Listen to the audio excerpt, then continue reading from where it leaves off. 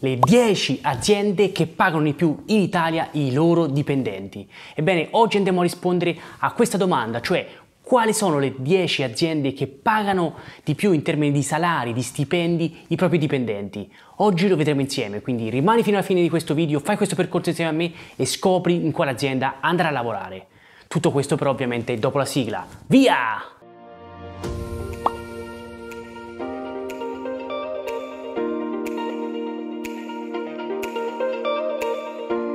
Dall'energia passando per la tecnologia arrivando fino all'aeronautica, andremo a vedere le 10 realtà in Italia che pagano di più nel 2023, ma per fare ciò dobbiamo introdurre un concetto fondamentale per questo video, e cioè il CSI, che sta ad indicare il Corporate Salary Index.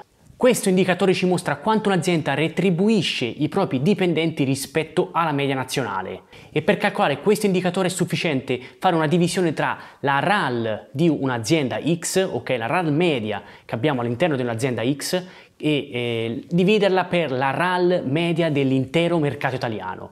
Per RAL ovviamente si intende il reddito lordo, ok, annuale di un dipendente. Se questo indicatore, il CSI, ha un valore che supera i 100 punti, beh, significa che questa azienda sta pagando di più rispetto alla media i propri dipendenti. Viceversa invece se questo valore è al di sotto di 100, beh significa che stanno pagando in media queste aziende meno rispetto alla media nazionale. Bene, eccoci a schermo ragazzi e partiamo subito con la lista delle top 10 aziende che pagano di più in Italia in termini di stipendi. Ok, questa è la mia personalissima tier list. Ovviamente vi lascio qui sotto in descrizione tutta una serie di eh, informazioni utili, di articoli e tanto altro per ottenere, per visionare anche le fonti dati ok? Chi fosse interessato, chi fosse curioso. Ma non perdiamoci altro tempo e andiamo subito alla lista delle top 10 eh, aziende per stipendi in Italia. Ovviamente la lista passa da una posizione numero 1 fino ad arrivare alla decima posizione. Noi partiamo con la decima e andremo ovviamente a scalare tutte quante insieme.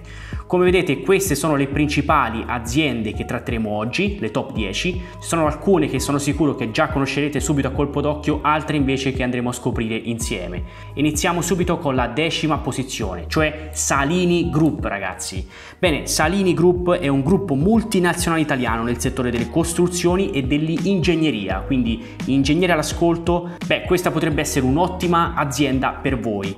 Quindi eh, questa azienda ha un corporate salary index, pensate un po' bene, di circa 110,3. Ciò significa che Salini paga in media i propri dipendenti 10,3% in più rispetto alla media del mercato, ragazzi. Quindi uno stipendio così secco, un 10% in più senza eh, far nulla soltanto perché lavoriamo per Salini. Bene, Molto interessante però ragazzi, ma non perdiamoci in altre chiacchiere, andiamo subito alla nona posizione. Beh, questa è un'azienda che non devo sicuramente presentare perché parliamo di Microsoft. Bene, colosso multinazionale informatico statunitense fondato da Bill Gates nel 1975 ragazzi, attualmente sviluppa, produce ovviamente e vende personal computer, software, elettronica di consumo e qualsiasi altra forma di, eh, di prodotto e servizio, veramente di tutto e di più. Bene, Microsoft ha un corporate salary index di 110,6, quindi Microsoft paga i propri dipendenti un 10,6% in più rispetto alla media del mercato. Beh, ovviamente chi non vorrebbe lavorare per questa azienda, per Microsoft Italia? Beh, penso tutti quanti voi. Ok, ma a questo punto andiamo all'ottava posizione. Ottava posizione per un'azienda italiana, ragazzi. Sì, avete capito bene, stiamo parlando di Sojay. Sojay, ragazzi, è un'azienda totalmente italiana Società Generale di Informatica. È un'azienda che eh, opera nel settore dell'informatica, come avrete sicuramente capito, e svolge servizi di consulenza informatica per la pubblica amministrazione, ok? E in particolare per il Ministero dell'Economia e della Finanza e per le agenzie fiscali italiane. Bene, questa azienda informatica, pensate bene ragazzi, ha un corporate salary index identico a quello di Microsoft, quindi un 110,6 ma eh, ovviamente ha qualche benefit in più soprattutto per le posizioni più rilevanti, più importanti, quindi nel top management. Per questo motivo si prende di diritto l'ottava posizione di questa tier list. A questo punto vi starete chiedendo qual è la settima azienda e bene ragazzi, anche in questo caso un'azienda italiana e parliamo di Barilla. Sì, Barilla tutti quanti conosciamo, multinazionale alimentare italiana che opera nel settore della pasta, eh, dei sughi pronti, dei prodotti di forno alimentari, farine, pane e tutti eh, questi prodotti alimentari. Ha un corporate index salary di eh, circa un 110,7, ok? Quindi Barilla paga i suoi dipendenti un 10,7 in più rispetto alla media del mercato. Quindi chi fosse interessato a lavorare con Barilla sappiate che siete eh, sicuramente molto molto fortunati, avrete un salario più alto della media eh, degli italiani, ok, della media del mercato, quindi circa un 10,7% in più rispetto alla media. Bene, ci sono tantissime posizioni all'interno di Barilla, tra cui molte anche nell'ambito marketing, quindi beh, dateci un'occhiata al loro sito web. Ok, ma eh, passiamo ora alla sesta posizione di questa lista e eh, troviamo in questo caso invece una multinazionale svedese. Bene, so che alcuni di voi già hanno intuito qual è l'azienda perché infatti stiamo parlando di Ikea ragazzi. Bene, Ikea è eh, sicuramente un'azienda che conoscete tutti quanti, eh, fa tutta una serie di eh, prodotti specializzati nella vendita di mobili, di eh, diciamo arredo e oggettistica per la casa. Questa azienda ha un corporate salary index di 111,1 ragazzi, quindi beh, si distacca già dalle eh, precedenti che abbiamo iniziato a vedere, quindi Ikea paga in media ai propri dipendenti circa l'11,1% in più rispetto alla media nazionale. Beh, Ikea è un vero gioiellino, una vera azienda ad hoc beh, molto interessante per tutti coloro che amano questo tipo di industria. Posizione numero 5 e parliamo di un'azienda italo-francese che produce e commercializza occhiali ragazzi. È presente in oltre 150 paesi e è la più grande produttrice mondiale di montature per occhiali da vista e anche da sole. Sono sicuro che tantissimi di voi già avrà capito qual è l'azienda e stiamo parlando di sì, Luxottica ragazzi, eccola qua, la mettiamo in quinta posizione. Pensate che Luxottica è eh, una tra le migliori in Italia per pagare i manager, quindi se hai un profilo alto e sei un manager d'azienda, beh sappi che Luxottica probabilmente è una delle migliori eh, ipotesi che hai, opportunità che hai in Italia. Bene, la Corporate Salary Index è di circa 111,6 e, e quindi paga in media un 11,6 in più rispetto della media nazionale.